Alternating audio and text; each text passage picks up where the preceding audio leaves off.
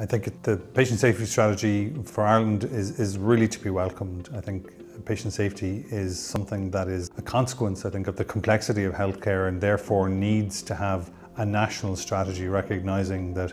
everybody has a responsibility in uh, providing patient safety and that that responsibility runs the length and breadth of the organisation. The strategy brings together a series of, of, of six really important commitments uh, and, and, under those six commitments lie uh,